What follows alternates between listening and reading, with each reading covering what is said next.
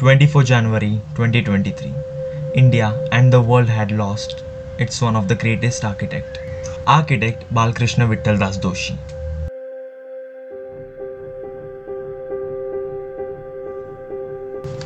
Welcome to the School of Architecture, Ahmedabad, that is the CEPT University. Here, every space and every corner talks about architecture and the culture of India. B.V. Doshi had designed the institute in such a way that it is timelessly user-friendly and long-lasting. So let's begin the video. Namaskar and welcome back to our channel, the UC, The Unbounded Creations. Insta ID at the red The Unbounded Creations. Let's hope this journey is going to be limitless.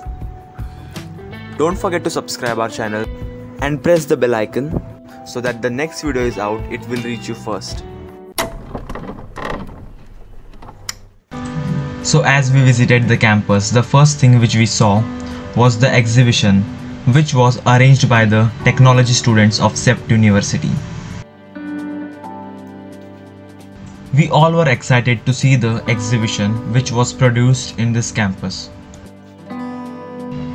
The models kept there were amazing and with proper kind of guide boards they have arranged each and every table.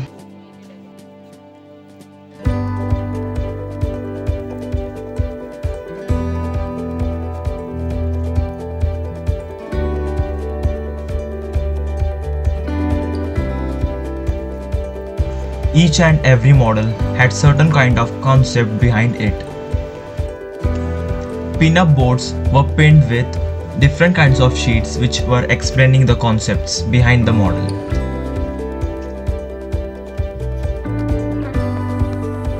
This footage shows that the campus was not only human friendly but also animal friendly. The hard work of every student was clearly seen in the models.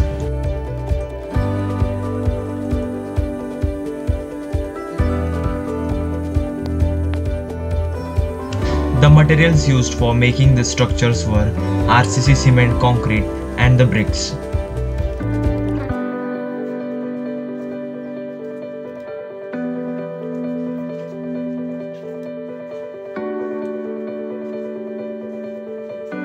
This long concrete wall kept the climate cool.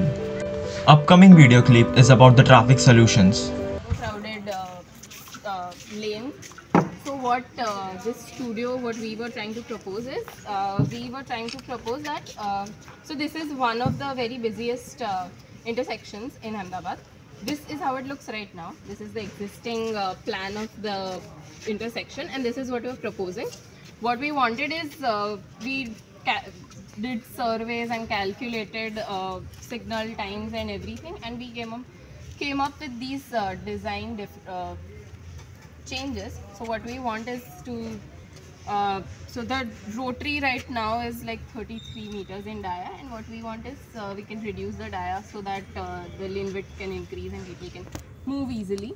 Uh, we're introducing road markings. A lot of times people usually uh, do not know where to drive around a rotary.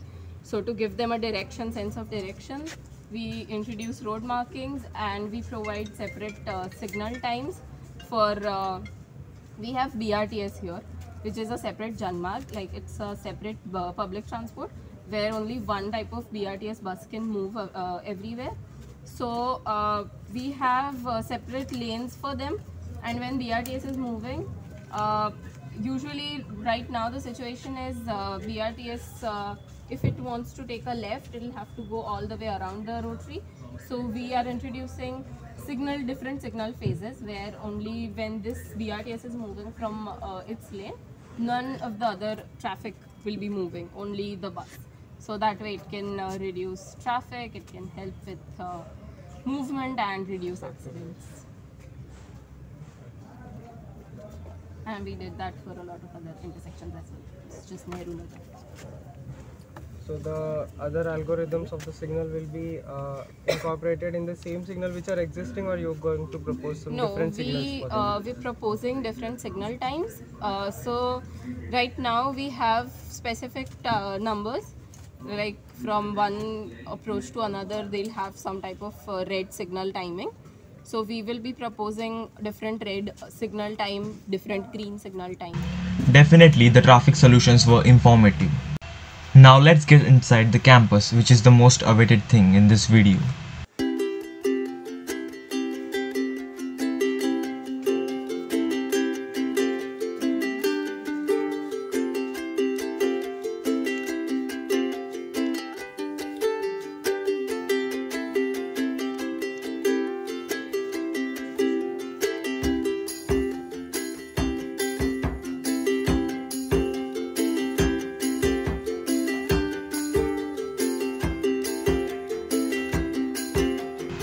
So basically the campus was designed in such a manner that the half part of, uh, of the campus was underground. The staircase were wide enough so that more people can enter at a time. So the windows were also played with some kind of angle so that the direct sunlight should not enter inside the structure.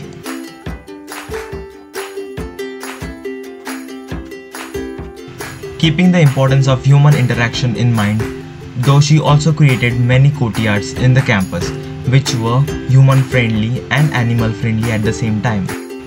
And the lush greenery kept the space even more cooler. These elements made this campus one of the greatest campus in India.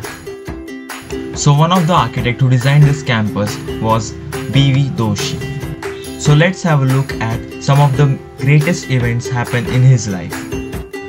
He was born on 26 August 1927. 1947 he took admission in Sir J.J. College of Architecture. In 1950 he boarded the ship to London to complete his course of architecture. 1951 started working under Le Corbusier. 1956 established his own firm Vastu Shilpa and 1963 School of Architecture. 2018 he won the iconic Pritzker Prize.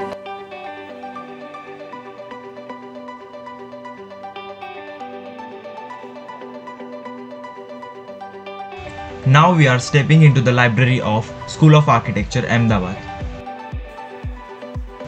The library is G plus 2 structure and G minus 2 structure. The glass blocks which you see on the floor is actually the ceiling of ground floor.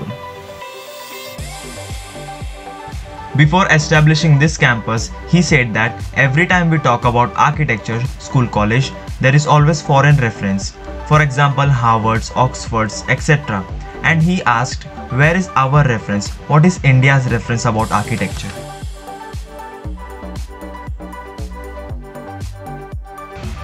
He always said that karma is something that you can't stop. There is a prarabdha, that is destiny, and there is runanubandha, that is relation, which you have to complete. There must be some relationship between you and me, that's why you are here and I am here. He added, I just get what I have paid them earlier. So as I said, the glass blocks are the ceilings over here. Doshi said nothing happens by chance, it's all planned and not planned now, it is planned long ago. Why a director thinks that he wanna make a movie and he gets frame and hero happens to come at the same time and director says oh it is good that hero is there so the things are happening. Doshi said no. There is some connection somewhere. You can't find it best.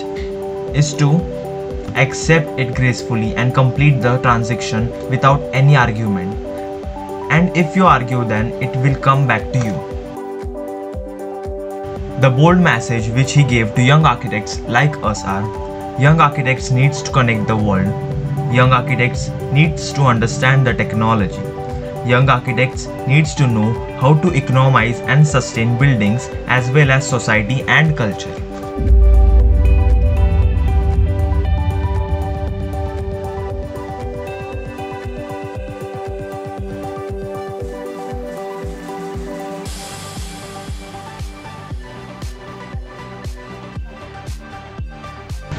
One of his famous quotes were I realized that education implies exposure, assimilation, dialogue, and exploration. Those things really affected me a lot. CEPT University is the best architectural campus I have seen ever in my life.